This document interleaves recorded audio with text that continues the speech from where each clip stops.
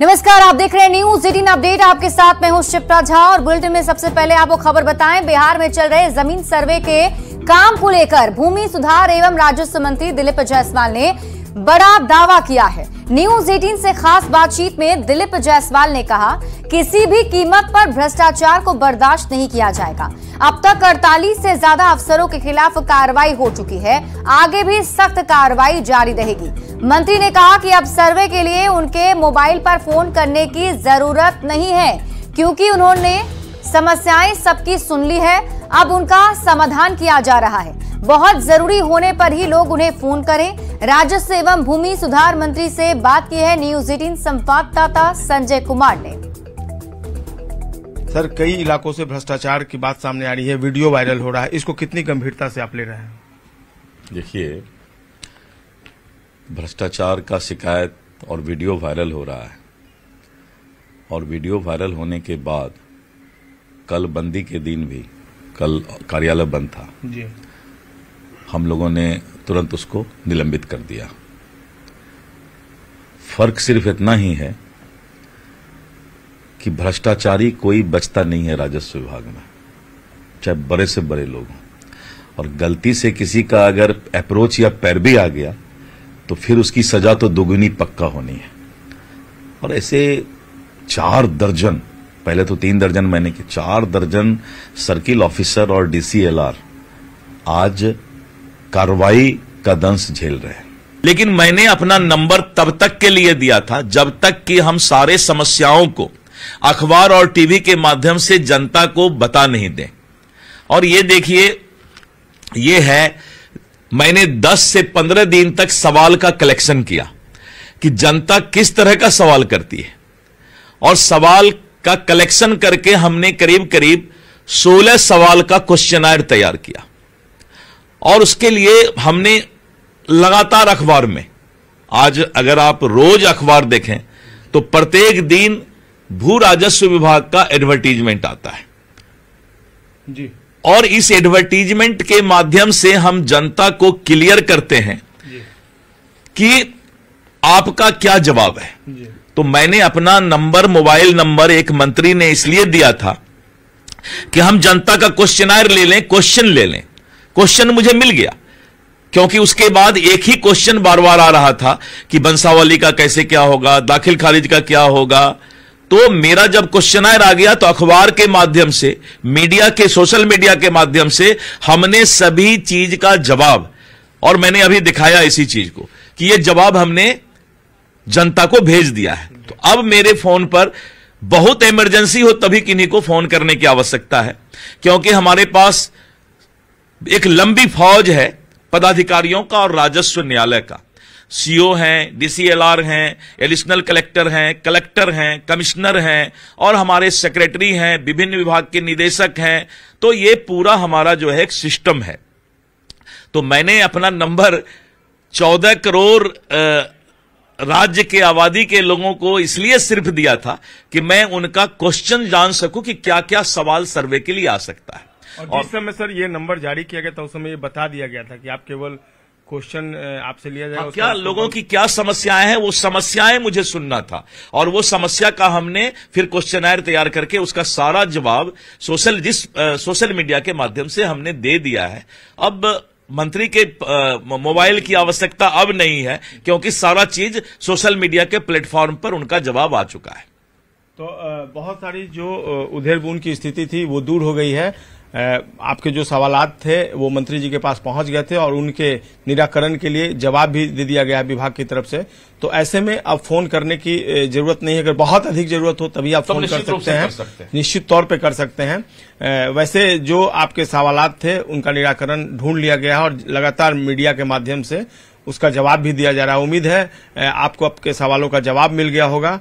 और निश्चित तौर पर कई ऐसे, खासतौर पर भ्रष्टाचार के मामले में विभागीय मंत्री ने कहा है कि उनके अधिकारी बेहतर काम कर रहे हैं और कहीं से अगर इस तरह की शिकायतें मिलती हैं तो उस पर विभाग सख्त है और देखा भी गया कि शनिवार को छुट्टी का दिन था, अवकाश का दिन था, उसके बावजूद निलंबन की कार्रवाई हुई है। तो अगर इस तरह की शिकायतें आएँगी, जाँच होंगी, कार्रवाई होगी, इस बात से मंत्री जी इतफाक रखते हैं। और उम्मीद है, लोगों के जो सवाल थे, लोगों के सामने जो समस्याएँ हैं, जो उधेर बुन की स्थिति है, जो असमंजस की स्थिति है, उसको दूर करने के लिए विभाग के साथ साथ जो राजस्व एवं भूमि सुधार मंत्री दिलीप जायसवाल जी, वो भी कृत संकल्पित हैं। कैमरा पर्सन मनीष जुनेजा के साथ संजय कुमार, न्यूज़ एटीन, पटना। बढ़ते आगे। भ्रष्टाचार को लेकर बिहार में बड़ी कार्रवाई की गई है। आईएएस संजीव हंस और पूर्व विधायक गुलाब यादव समेत एक दर्जन आरोपियों के खिलाफ विशेष निगरानी इकाई ने प्रिवेंशन ऑफ़ करप्शन एक्ट के तहत केस दर्ज किया है। आईएएस संजीव हंस के अलावा उनकी पत्नी और पिता के खिलाफ भी एफआईआर दर्ज की गई। पूर्व विधायक गुलाब यादव की भी पत्नी और बेटी को इसमें आरोपी बनाया गया है। इस खबर पर और अधिक जानकारी दे रहे हैं न्यूज़ एटीन संवाददाता संजय कुमार।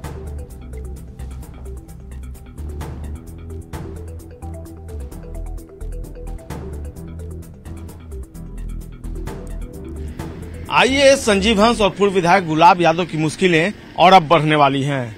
पहले से ही ईडी इनके खिलाफ जाँच कर रही थी और अब ईडी की अनुशंसा पर बिहार सरकार ने इन दोनों के अलावा एक दर्जन जो आरोपी हैं, उनके खिलाफ एफआईआर दर्ज करने की अनुमति दे दी है और भ्रष्टाचार को लेकर इनके खिलाफ स्पेशल विजिलेंस यूनिट, यानी विशेष निगरानी इकाई ने अपने थाने में एफआईआर दर्ज किया है।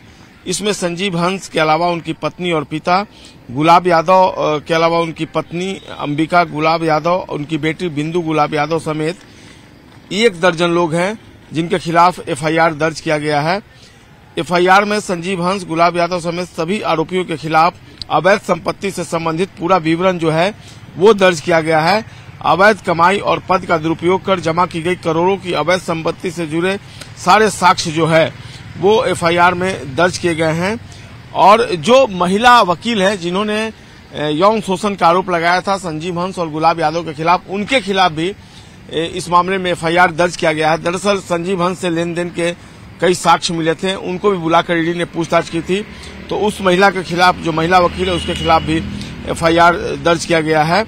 भ्रष्टाचार निरोधक अधिनियम की धारा सात सी, आपराधिक साजिश और धोखाधड़ी के तहत ये एफआईआर दर्ज किया गया है। पहले से भी जो ईडी है, वो इसी मामले में अपने, यहाँ एफआईआर दर्ज कर चुकी है और उसकी जाँच चल रही थी, लेकिन अब इस मामले में मुश्किल और बढ़ जाएगी। स्पेशल विजिलेंस यूनिट ने अब एफआईआर दर्ज कर दिया है और एफआईआर दर्ज करने के बाद इस पूरे मामले में अब स्पेशल विजिलेंस यूनिट इन सभी आरोपियों के खिलाफ आगे जाँच करेगी और जैसे जैसे जाँच परत दर परत आगे बढ़ेगी तो इन सभी को मुश्किलें आनी तय मानी जा रही है। कैमरा पर्सन मनीष जुनेजा के साथ Sanjay Kumar, news eighteen, Patna.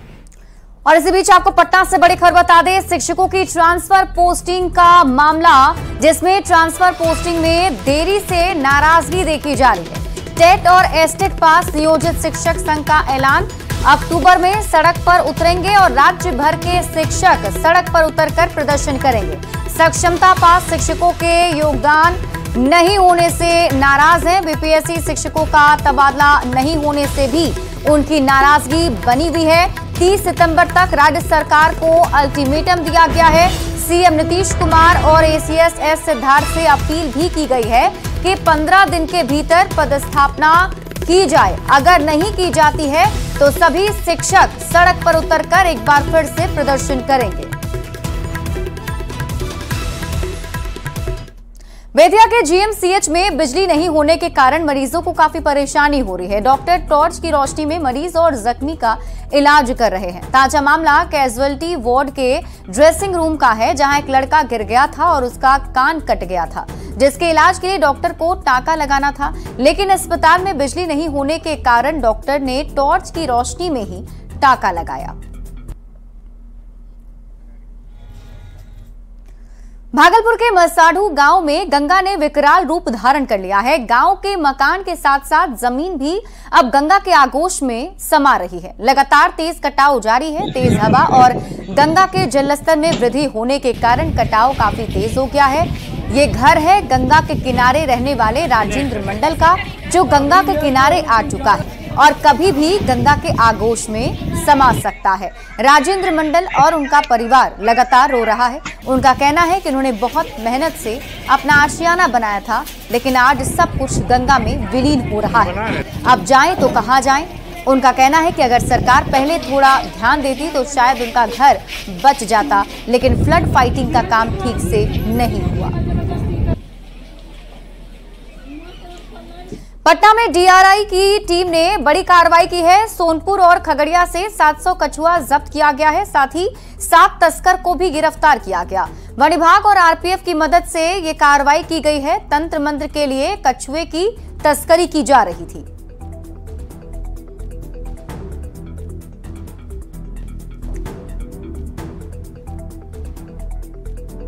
PM Vishwakarma योजना के तहत पटना के गांधी मैदान में व्यापार और प्रदर्शनी मेले का आयोजन किया गया है। हस्तशिल्प कलाकार अपनी कलाओं के साथ पहुँचे। अलग अलग स्टॉल पर उनकी कला नज़र आ रही है। विष्णु पद के भगवान विष्णु के पद चिन्ह भी पत्थर पर बनाकर कलाकार इस प्रदर्शनी मेले में लेकर पहुँचे हैं। गांधी मैदान से इस खबर पर और अधिक जानकारी दे रही हैं न्यूज़ 18 संवाददाता विनीता मिश्रा। पीएम विश्वकर्मा योजना के तहत पटना के गांधी मैदान में व्यापार सह प्रदर्शनी मेले का आयोजन किया गया है। तीन दिवसीय इस प्रदर्शनी में कई ऐसी कलाएँ, हस्तशिल्प आपको आसानी से मिल जाएँगी। यहाँ पर गया से आए हुए जो व्यापारी हैं, उन्होंने अपना स्टॉल लगाया है और जो लकड़ी की नक्काशी है, वो आपको ज़रूर पसंद आएगी। यहाँ देख सकते हैं, अशोक स्तंभ और कई सारे जो खूबसूरत लकड़ी की नक्काशी है वो यहाँ की गई है। विष्णु पद यानी भगवान विष्णु के जो पैरों के निशान हैं उसकी कलाएँ भी यहाँ नज़र आ रही है। खूबसूरती इन हस्तशिल्प कलाकारों की और ये लोग सब कुछ खुद से बनाते हैं। गया से आए हैं? जी मैडम गया से आए हैं। बिक्री तो ठीक ठाक है मैडम। जी बहुत अच्छा। वहाँ गया में भी अच्छी खासी बिक्री जी गया महाबोधि टेंपल जो बोधगया में है ना वहाँ भी अच्छी खासी बिक्री होती है तो ये खुद से नकाशी करते हैं आप सब? जी नक्काशी हम लोग खुद करते हैं। मेरे पुश्तैनी काम है। जब विष्णुपद मंदिर जब निर्माण होने के लिए जब आए थे ना हेलियाबाई होलकर इंदौर की महारानी तो हम लोग का जो गौड़ समाज के लोग हैं उनको पथकट्टी स्थान दिया गया था।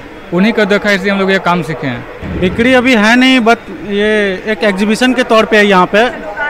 हाँ लोग आ रहे देख रहे हैं पसंद भी कर रहे हैं खरीदने का मन है खरीद भी रहे हैं। पीएम विश्वकर्मा योजना के तहत तीन दिवसीय व्यापार सह प्रदर्शनी मेले का आयोजन किया गया है, जिसमें हस्तशिल्प की कलाओं से लोग अवगत हो रहे हैं।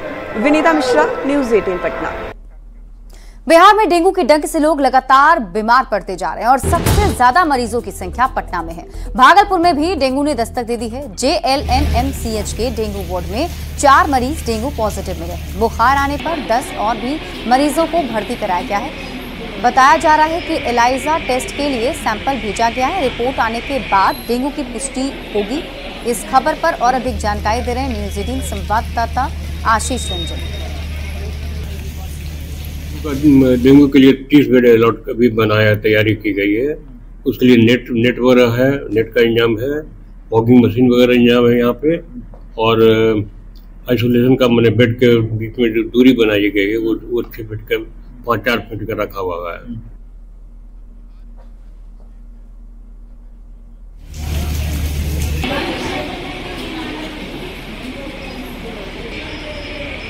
लगातार डेंगू के मरीजों के मिलने का सिलसिला जारी है। पटना में सबसे अधिक मरीज़ हैं, वहीं भागलपुर में भी चार मरीज़ यहाँ डेंगू के पॉजिटिव आज मिले हैं और सभी का इलाज जवाहरलाल नेहरू चिकित्सा अस्पताल के फेब्रिकेटेड वार्ड में जो है डेंगू वार्ड बनाया गया है। यहाँ पर तीस बेड बनाए गए हैं अभी और उनमें जो है सारी व्यवस्था की गई है कि मरीजों को कहीं से कोई परेशानी नहीं हो। मुसहरी दिया गया है और डॉक्टर जो है लगातार यहाँ पर आकर जो है मरीजों का हाल चाल ले रहे हैं और उन्हें दवा दी जा रही है। कई मरीज़ जो हैं यहाँ पर भर्ती हैं, जिनका टेस्ट के लिए अभी गया हुआ है। दस ऐसे मरीज़ हैं जिनको टेस्ट के लिए भेजा गया है उनका ब्लड सैंपल एलिजा टेस्ट के लिए। और जो जो चार पॉजिटिव हैं उनसे हम बात करते हैं कि वो कब से आए हैं और क्या परेशानी थी और कैसा इलाज चल रहा है। क्या परेशानी थी आप लोग बुखार था बहुत। हाँ। चार। कई दिन से था? दिन से। और क्या निकला? डेंगू। डेंगू निकला है। कब लेकर आए थे जी कल रात। कल रात में लेकर आए। कैसा इलाज चल रहा है? बहुत अच्छा। पहले से काफ़ी बेहतर डेंगू निकला है। जी। तो और भी तीस बेड और बढ़ाए जाएँगे जैसे जैसे मरीजों की संख्या में बढ़ोतरी होगी वैसे बेडों की भी व्यवस्था की जाएगी। उन्होंने दावा किया है कि अस्पताल में सारी व्यवस्था है कहीं से भी मरीज़ को कोई दिक्कत नहीं होगी। Ashish Ranjan news eighteen Bhagalpur. और लंबे अरसे के बाद पटना के मौर्या लोक परिसर में रौनक लौटने वाली है। मौर्या लोक परिसर में जल्द ही खाने पीने की दुकानें सजने वाली है। शहर के लोगों की चहलकदमी मौर्या लोक में जल्द ही नज़र आएगी। इसके लिए काम शुरू भी किया गया है। बताया जा रहा है कि दशहरा के पहले परिसर को साफ़ सुथरा बनाया जाएगा और वहाँ पर फ़ूड काउंटर लगाए जाएँगे। इस खबर पर और अधिक जानकारी दे रही है न्यूज़ एटीन संवाददाता विनीता मिश्रा। मौर्या लोक की रौनक एक बार फिर से लौटने वाली है। मौर्या लोक में एक बार फिर से खाने पीने के दुकान सजने वाले हैं। इसके लिए बैठक शुरू हो गई है। मौर्या लोक में फ़िलहाल सन्नाटा नज़र आ रहा है। और सिर्फ़ अभी नहीं, पिछले कई महीनों से मौर्या लोक सुनसान हो गया है। लेकिन एक बार फिर से लंबे अरसे के बाद शहर के लोगों की चहलकदमी मौर्या लोक में बढ़ने वाली है। शनिवार को नगर निगम के अभियंताओं की टीम ने परिसर का निरीक्षण किया। दशहरा से पहले परिसर को साफ़ सुथरा और सुंदर बनाने की कवायद हो रही है। यहाँ पर आठ फ़ूड एक क्योर भी बनाने जाने वाले हैं। इसके लिए भी तैयारी शुरू कर दी गई है। नगर निगम के अधिकारियों और दुकानदारों के साथ शुक्रवार को इस विषय पर बैठक की गई थी। इसी के मद्देनजर मौर्या लोक का सौंदर्यीकरण को लेकर अभियंताओं की टीम ने निरीक्षण किया। हालाँकि मौर्या लोक की सुंदरता बढ़ाई गई है। कई सारे खूबसूरत पेंटिंग्स भी यहाँ किए गए हैं, लेकिन इसका और सौंदर्यीकरण किया जाएगा। लोगों की चहलकदमी नहीं है, उसे शुरू किया जाएगा। यानी फ़ूड काउंटर एक बार फिर से मौर्या लोक में नज़र आएँगे। लोगों की चहलकदमी नज़र आएगी और मौर्या लोक एक बार फिर से लोगों की उपस्थिति यहाँ नज़र आने वाली है। विनीता मिश्रा न्यूज़ 18 पटना। पटना के फुलवारी शरीफ के Kurkuri health and wellness centre को स्वास्थ्य मंत्री मंगल पांडे ने एक साथ 1000 टीकाकरण कॉर्नर की सौगात दी है। टीकाकरण कॉर्नर का शुभारंभ किया गया और पंचानवे प्रतिशत टीकाकरण लक्ष्य पूरा करने का भरोसा दिलाया है। इस दौरान मौके पर राज्य स्वास्थ्य समिति के ED Suharsh Bhagat, civil surgeon समेत आशा कार्यकर्ता और कई अधिकारी और कुरकुरी के जनप्रतिनिधि मौजूद रहे। इस पर और अधिक जानकारी दे रहे न्यूज़ एटीन संवाददाता Rajnish Kumar. Health and wellness centre से स्वास्थ्य मंत्री मंगल पांडे ने टीकाकरण कॉर्नर का आज उद्घाटन किया है और शुभारंभ किया है। यानी कितनी बड़ी सौगात है, हम सीधी बातचीत करेंगे। हमारे साथ स्वास्थ्य मंत्री भी हैं, राज्य स्वास्थ्य समिति के ईडी सुहर्ष भगत भी हैं। सर, क्या लग रहा है कि बिहार वासियों को आज बड़ी सौगात दी गई देखिए, आज बहुत बड़ी सुधार स्वास्थ्य सेवाओं में हुआ है। आदरणीय प्रधानमंत्री नरेंद्र मोदी जी और माननीय मुख्यमंत्री श्री नीतीश कुमार जी की ये सदैव इच्छा रही है कि जो समाज में हमारे बच्चे हैं और जो गर्भवती महिलाएँ हैं, उनको जितने प्रकार के टीके दिए जाने चाहिए, वो सभी टीके उनको दिए जाएँ। तो टीकाकरण की सुविधा बढ़ाई जाए और इसी दृष्टि से आज बिहार राज्य के अंदर एक हज़ार केंद्रों पे नए तरीके से प्रतिरक्षण केंद्र खोले गए हैं, टीकाकरण केंद्र खोले गए हैं। और एक हज़ार सेंटर पे अब आज के बाद से सोमवार, मंगलवार और बृहस्पतिवार को टीके प्रति सप्ताह लोगों को दिए जा सकेंगे। लोगों को जो विभागीय और सरकार का दिशा निर्देश रहता है उस पर हम लोग लगातार कार्यरत हैं। हज़ार जगहों पे जैसा आपको माननीय मंत्री जी ने बताया हम लोग शुरू कर रहे हैं। आगामी दिनों में एक हज़ार और सेंटर पे करेंगे ताकि हम लोग का शत प्रतिशत लक्ष्य टीकाकरण का उसको हम लोग सुनिश्चित कर सकें। और बता दें आपको कि 87 परसेंट जो एक तरह से मैं लक्ष्य है वो अभी तक पूरा हुआ है लेकिन पंचानवे परसेंट लक्ष्य जो है उसकी प्राप्ति जल्द करनी है। इसको लेकर स्वास्थ्य विभाग ने एक बड़ा टारगेट दिया है और अधिकारी जो है इसको लेकर एक तरह से आत्मसात करने में भी जुट गए हैं। कैमरामैन सुबोध के साथ रजनीश कुमार न्यूज़ 18 पटना। खबर आपको कटिहार से बताते हैं जहाँ पोखर चोरी का एक सनसनीखेज मामला सामने आया है। मनिहारी विधानसभा के बधार पंचायत मिर्जापुर में लगभग 60 पोखर गायब हो गए। इस बात को सुनने में आपको थोड़ी हैरानी होगी लेकिन स्थानीय लोगों ने यही दावा किया है। मुखिया और प्रशासनिक पदाधिकारियों की मिलीभगत से बड़ा घोटाला किया गया है। यहाँ बगल में दू गो पोखर बना तीन गो एक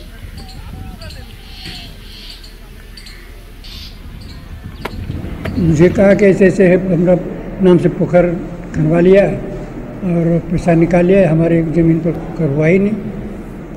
तो मैंने कहा कि ठीक है तुम लिख के दो एफिडेविट करके दो। तो एफिडेविट करके बेचारा दिया तो हम यहाँ से और फ़िलहाल इस बुलेटिन में अभी के लिए बस इतना ही। आप देखते रहिए न्यूज़ एटीन बिहार झारखंड।